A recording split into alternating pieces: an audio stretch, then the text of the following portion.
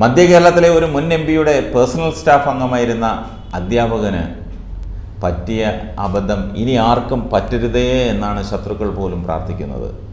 M പിയുടെ കാലാവധി തീർന്നപ്പോൾ അവധി അവസാനിപ്പിച്ച് നേരത്തെ പണിയെടുത്തിരുന്ന സ്കൂളിൽ തിരികെ പ്രവേശിച്ച് സന്തോഷമായി ജീവിതം മുന്നോട്ട് നീങ്ങുമ്പോഴാണ് അപ്രതീക്ഷിതമായി ജീവിതം മാറിമറിഞ്ഞത്. എല്ലാ വർഷവും കുട്ടികളെ വിനോദയാത്രയ്ക്ക് കൊണ്ടുപോകുന്നതിന്റെ ഉത്തരവാദിത്തം കഴിഞ്ഞ കുറേ വർഷങ്ങളായി ഈ അധ്യാപകന്റെ ചുമതലയിലാണ്. പെൺകുട്ടികൾക്ക് വേണ്ടി ഒരു അധ്യാപികയും കൂടെ പോകും. ഏതായാലും സുഖവാസ കേന്ദ്രങ്ങളുടെ നാട്ടിൽ ആടിപ്പാടി നടന്ന കുട്ടികൾക്ക് അതിന്റെ എല്ലാം പടം പിടിക്കണമെന്ന് ആഗ്രഹമുണ്ടായത് സ്വാഭാവികം. കുട്ടികളുടെ മൊബൈലിലെ പടത്തിന് ക്ലാരിറ്റി ഇല്ലാത്തതിനാൽ പടം പിടിക്കാൻ അധ്യാപകന്റെ വില കൂടിയ മൊബൈൽ ഫോൺ ചോദിച്ചു. ഒട്ടും വൈകിയില്ല കുട്ടികളുമായി നല്ല സൗഹൃദം സൂക്ഷിക്കുന്ന അധ്യാപകൻ തന്റെ ഫോൺ കുട്ടികൾക്ക് പടം പിടിക്കാൻ കൊടുത്തു. ഫോട്ടോഷൂട്ട് ആരംഭിച്ചു. തിരിഞ്ഞു നിന്നും മറിഞ്ഞു നിന്നും കിടന്നും തൂങ്ങിയും ആടിയും പാടിയുമൊക്കെ കുട്ടികൾ പടം പിടിച്ചു.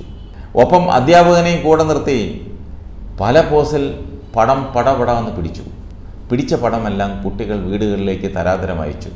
ഇതിനിടയിൽ ഒരു തലതിരിഞ്ഞ ചക്കൻ അധ്യാപകന്റെ ഫോണിൽ ഒരു നിരീക്ഷണം നടത്തി.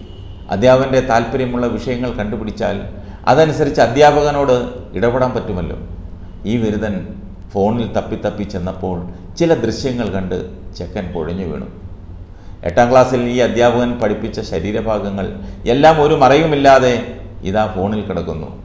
അതിനിടയിൽ കണ്ട ഒരു മുഖം അതെ അതേ മുഖം തന്നെ. തങ്ങളെ ശരീരഭാഗങ്ങൾ വിശദീകരിച്ച് പഠിപ്പിച്ച ആ ടീച്ചറുടെ മുഖം. ശതമാനവും ദശാംശവും ഒക്കെ നമ്മെ പ്രായോഗികമായി കാണിച്ചു തന്ന് പഠിപ്പിച്ച അതേ അധ്യാപിക ഒട്ടും അമാന്തിച്ചില്ല.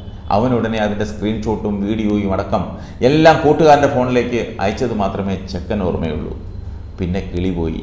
ഇപ്പം മുഖപരിചയമുള്ള എല്ലാവന്റെയും കയ്യിൽ ഈ മുതലിരിപ്പുണ്ട്.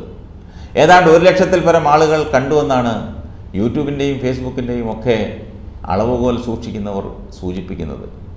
ഏതായാലും അധ്യാപകരെ നിർബന്ധിത അവധിയിലാക്കിയെന്നാണ് പറഞ്ഞു കേൾക്കുന്നത്. അധ്യാപകൻ ഇവിടെ ചില വരവ് പോക്കുണ്ടായിരുന്നുവെന്നാണ് പറയപ്പെടുന്നത്. എന്നെങ്കിലും അധ്യാപിക ഇടഞ്ഞാൽ വിരട്ടാൻ സൂക്ഷിച്ചിരുന്ന ആയുധങ്ങളെല്ലാം ആ ചെക്കൻ ഒറ്റ ക്ലിക്കിൽ നിർവീര്യമാക്കി. ആയുധം കയ്യിലില്ലാത്തവൻ അടരാടുന്നതെങ്ങനെ? അന്യയിടങ്ങളിൽ പശുവിനെ തീറ്റാൻ പോകുന്ന എല്ലാ അധ്യാപികമാരുടെയും ശ്രദ്ധയ്ക്ക് എ ഐ ക്യാമറയുടെ കാലമാണിത്. ഫോട്ടോയിൽ പെടാതെ നോക്കണം.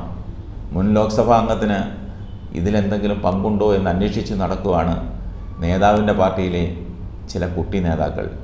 ജീവിച്ചിരിക്കുന്നവരോ മരിച്ചവരോ ആയി ആർക്കെങ്കിലും ഈ കഥയ്ക്ക് സാമ്യം തോന്നുന്നുവെങ്കിൽ അത് കേവലം യാദൃച്ഛികം മാത്രം. ചതി പെട്ടാൽ പിന്നെന്തരുതാത്തത് ഗതികെട്ടാൽ പുലി പുല്ലും തിന്നും.